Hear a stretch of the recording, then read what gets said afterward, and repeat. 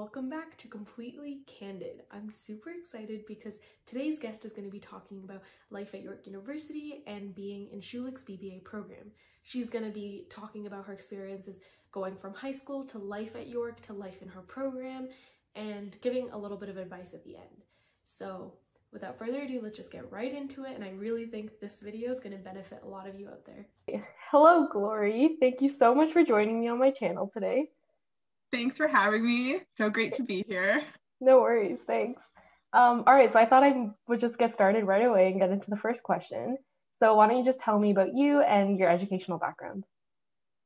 Yeah, for sure. So, hello everyone, Ash's channel watching. Um, I'm Glory, and I'm currently in my third year in the BBA program at Schulich, which is a part of York University. And I'm specializing in marketing and strategy, and hopefully working to looking to work in the CPG space, retail space in the coming years. Wow, nice. That sounds cool. Um, so my second question was just why did you choose York and your specific program?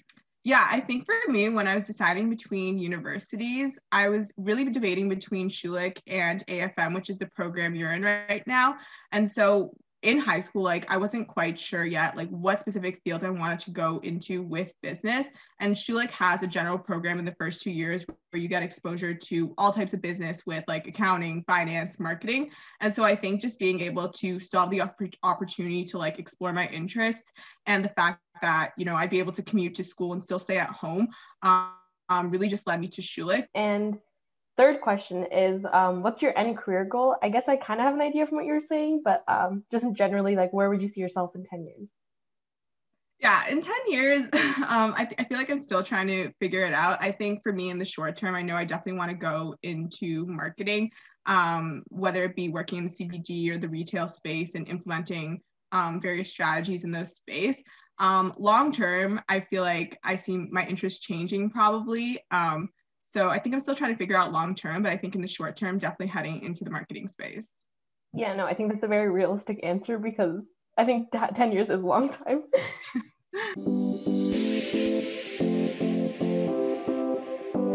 so my first question is do you live at school or do you commute and how do you like that overall experience? Yeah, so I'm a commuter. Everyone knows me as the girl who commutes. Um, I think definitely commuting is a new experience and one of the biggest changes when you're going from like high school to university. Um, it's definitely something that's very time consuming. So i think that's just probably one of the hardest parts about commuting you know the time that you have to spend going there and back and also the fact that it can get very tiring. Um, so it's not my favorite thing but i think you know when you're choosing between commuting or on residence for me personally it's a sacrifice that i want to make in the time that i'll lose because it means that I'll get to come home to a warm cooked meal or I'll get to sleep in my bed in that night. So definitely, you know, not maybe one of the most positive parts about university, but you know, it's a part of the journey.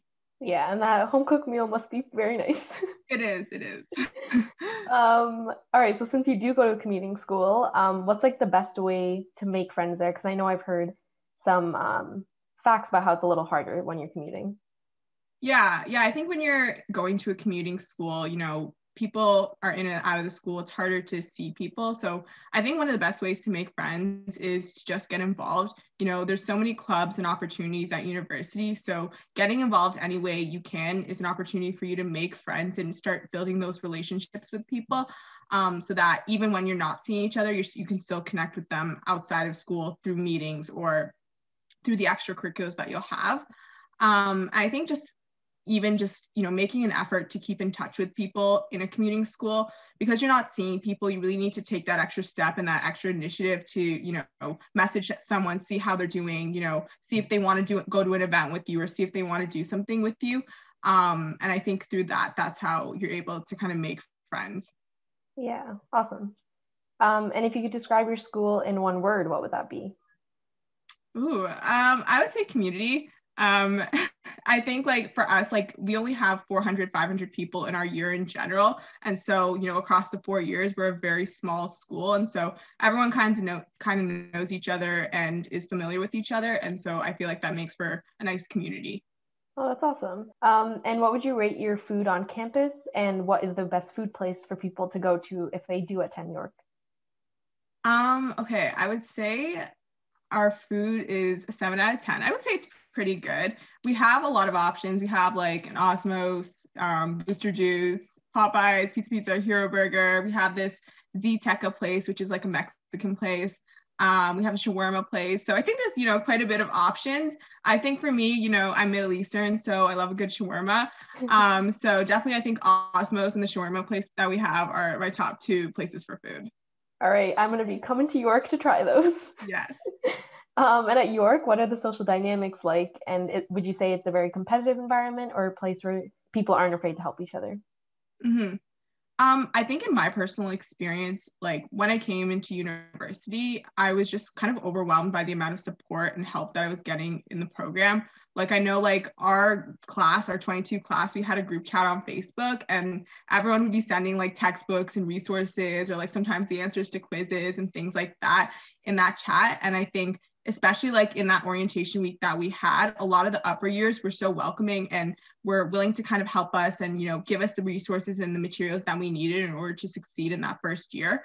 So i think in my personal experience i've definitely seen like a very helping culture. But i think naturally like even just in any university there's always you know some level of competition because you know everyone you know wants to succeed and do the best.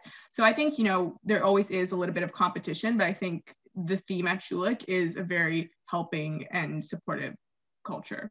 Oh, that's so nice. At York, what's the party life like? Would you say there is one or there really isn't? Because I do know you guys are commuting school as well. Yeah. So, like, for me, like I said, like, I'm a commuter. So, I'm not too sure, to be honest, about the party space, which probably, you know, speaks to the party life um, mm-hmm. at the school. But um, yeah, I think it, probably, you know, if you live on res, you know, there might be a little bit more of that. But I think because it is a commuter school, there's not, it's not yeah. as heavily prevalent as maybe at, at some other universities.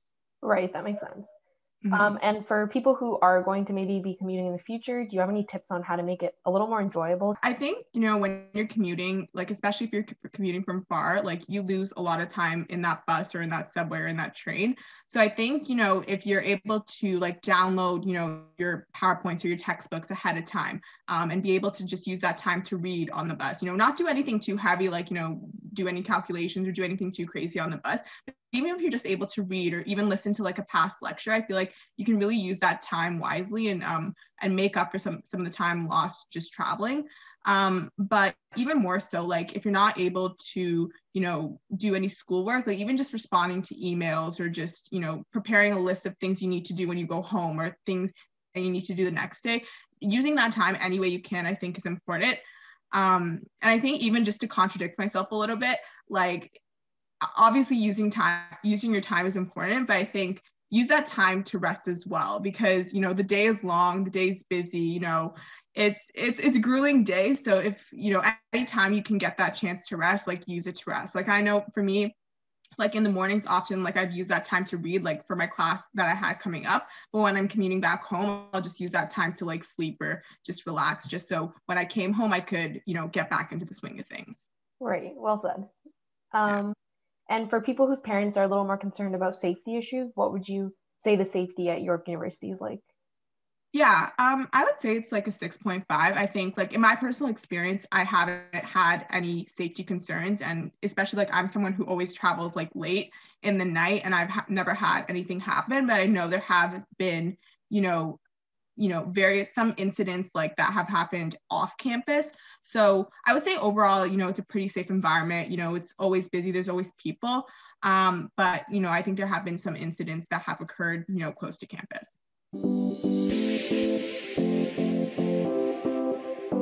Um, the first question is What was your high school average getting into your specific program, being in um, Schulich business?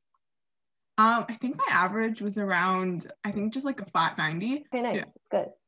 Um, and what were some extracurriculars you did in high school when you were applying? And do you think that had a significant impact on you getting in? And um, in your in your opinion, do you think Schulich kind of looks at your grade more or your extracurriculars more? Yeah. Um, I think extracurriculars are a really important part when you're applying to Schulich, but also just like any business university in general. Um, you know, for Schulich, they say they consider 50% academics and 50% extracurriculars. So, you know, if you're not as strong in the academic part, your extracurriculars can really make up for it and vice versa.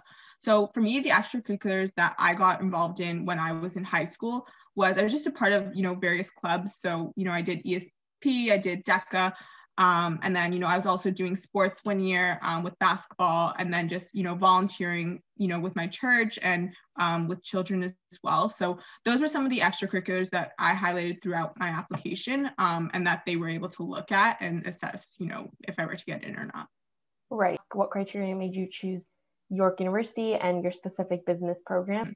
Yeah, I think for me, the key part was just being about able to um, continue exploring my interests um, while in university. A lot of the other programs that I had applied to had specific, you know, business streams. Like AFM was specific to accounting and finance. You know, I applied to an HR program. I applied to a marketing program. But I think for me, you know, because it's grade 12 and it's still a little bit early, at least for me, like I didn't know specifically what I wanted to do yet. So in choosing Schulich, I was able to still kind of explore all the business streams and then make my choice from there. Um, but also when we, you know, when I was applying in that process, um, I had the opportunity to go to the campus and have like a tour and kind of meet some of the students there and see what it looked like. And so I think just, you know, when I went to the school, I really felt like this sense of community and I felt like, um, you know, it was going to be a good opportunity to learn as well because at Schulich, the class sizes are really small. Like we only have like max 50 people in our classes. So I think just, you know, being able to um, still explore all the business streams and just be in this small class size and just the community factor. I think those three things really just drew me to Schulich. Right, awesome. Um, and in terms of applying to Schulich, what was the application process like? And do you have any tips for any of those high school students out there? Mm-hmm. Yeah, so in terms of the application process, there's essentially a couple parts. So obviously, you're going to be sending your transcript and your grades to the university, but also um, in terms of the extracurricular side, you have to showcase and explain five different extracurriculars that you have. Um, and that's what you're going to be sending to the university.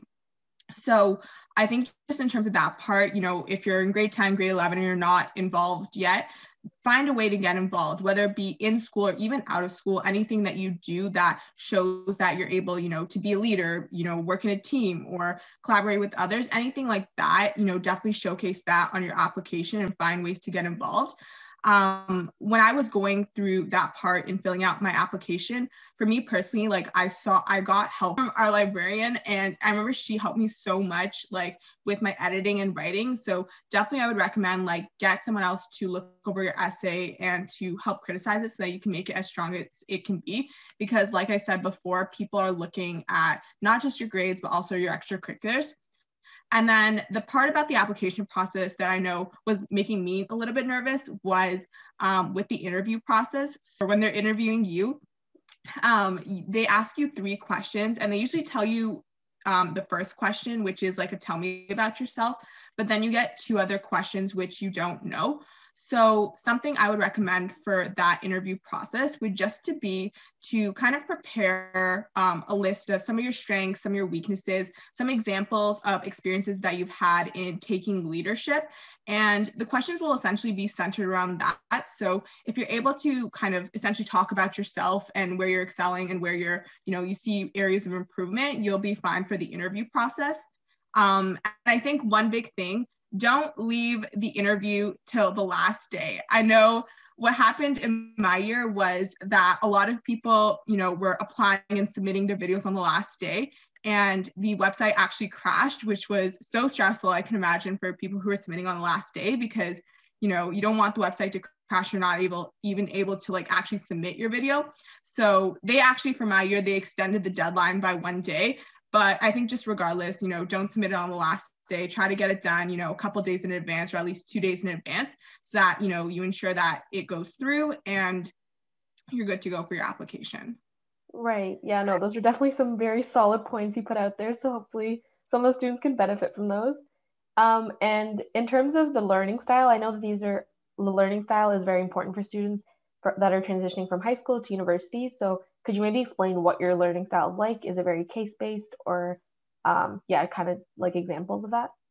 Yeah. Um, so at Schulich, I would say it's a good mix of group based projects and then just you know your typical individual work and assignments so i think that was probably one of the biggest shifts as well from like high school to university is just getting into the habit of doing more group work um, so we had for example when you come into your first year one of the biggest you know courses that you're going to be taking is management 1000 which is solely a group focused course where every week you're working in the same group for the entire year or the entire semester. And you have to like analyze like a different business and its operations. So um, there's courses like that but then there's also like your accounting and finance courses that are you know just mainly test based and quiz based right. Oh wow. So you really have to be a team player in that one course yeah yeah. It's one thing you have to learn you know you got to learn how to you know work in a team and really collaborate with others because you're going to be doing that honestly throughout all your university years. And i think even when you enter the workforce you got to learn how to like work with other people. Um, how challenging would you rate your program to be on a scale of 1 to 10 and do you mind rating it based on your first year second year and your current year? Which is mm-hmm. your third year? Mm-hmm. um Okay, so I think in terms of how challenging the program is, I would say it's about a 6.5. I think in general, I think for me, what I found challenging was just trying to balance academics with extracurriculars because when you're coming into a business program, you know, I think this is, you know, one of your next questions, but you know, you have only 15 hours of class a week, you know, comparing to some of the other science programs where, you know, they have 15 hours plus like labs and tutorials. You only have 15 hours in business, but that's because, you know, there's that opportunity for you to get involved and have those extracurriculars to then showcase, you know, when you're applying for jobs. So I think just that time management aspect is what's what what was made it difficult. Um, I think in terms of my first year, I would say, you know, the difficulty was, you know, a seven because it was it's just a transition in adjusting, especially for me, you know, trying to adjust from having class every day um, to, you know, having class, you know, three hour lectures or, or having to commute. That was a big adjustment. Um, and in first year, one of the hardest courses is your stats course. Um, I could still, I can't, I still can't do stats for the life of me, but um, I think that's probably one of the hardest courses. I think second year definitely ramps it up in terms of difficulty. Um, I would probably say eight out of 10 for second year because um, I think you're just juggling so much more in second year. Second year is a lot of group projects that are all happening at the same time towards the end of the semester. So definitely I'd say second year is a little bit of a ramp up from first year. And then I would say third year is, you know, six out of 10. Um, you know, you're still juggling um, you know, multiple things. But in third year, you know, you've kind of got your stride into university and you're able to actually select more courses that you're interested in. So I think that's also what kind of helps make it easier a little bit. Nice. Um, and how many classes do you have to take per term and how many electives do you get? Mm-hmm. Yeah, so essentially each semester you take five courses. So you take four courses that are mandatory and then one course each semester that's your elective. And that elective has to be elected an elective from York. So you can take literally anything you want. I know my first year I took psychology and then my second year I took voice and speech and drama. Um, so yeah, you take five courses each semester and um, when you get into your third year, you're able to take eight electives out of 10 courses in the entire year. So you definitely have more freedom um, when you get into your third year because that's the year when you get to specialize and actually choose you know courses that are more appealing to you. That's so cool that you get that many electives to choose from. How many hours on average do you would you say you study in a day after you're done classes? It's a good question. Um, it's hard to say. Like you know i think there's days definitely where i'm more productive than others or days where you know i won't have anything to do after class um, so I think it really ranges. Um, I think like on a weekend when, you know, I don't have any class at all, it can be from, you know, six to eight hours, I would say. Um, and I think, you know, on other days where I'm more busy, it could be like two to three hours. Right. That makes sense. Um, and are you involved in anything um, in your school or maybe outside of it? Yeah, um, I think for me, that's literally one of the best part about university. And so, like, when I came into my first year, um, and then even till now, like, I just made a concerted effort to get involved and do different things. So, Um, currently, I'm part of my school's consulting club, um, where you know I just finished my term of you know planning our annual conference. Um, but I've also been able to kind of just partake in like really I did intramurals one year. I helped kind of plan um, our orientation week where we would welcome like the new first year students. Um, so those are some of the things I've just kind of been able to be a part of. In your program, are there any options for like a co-op internship program? And if so, how does that process kind of work to get that opportunity? Mm-hmm. Yeah, so we don't have a co-op, but you know we do have you know the May to August summer months off.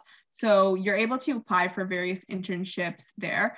Um, every school has their own career portal where you're able to see like the different jobs and the different opportunities that are available. And so, you know, one way you're able to kind of uh, you know get into those internships or put yourself in a position to land an interview or get those internships is by attending you know various networking events which again is also highlighted through your school's career portal so i think it's just a matter of you know looking out you know when the time that the jobs come out looking out for uh, the different events and um, opportunities that are available and then just applying right All right, so now getting into the conclusion, um, do you mind kind of talking about one thing that you wish you knew going into first year that um, you learned afterwards? Mm-hmm. Yeah, I think coming into university, I was like so stressed and so focused on my grades. Um, and, you know, I'd literally freak out, you know, after I got one bad grade. But I would say, you know, to the people coming in, you know, don't worry about that bad grade or don't worry about if you don't do as well on like a test or on an assignment. Like it's a learning process. You'll get better. You'll find ways to succeed. And ultimately, at the end of the day, it's not the be all end all. You'll be fine.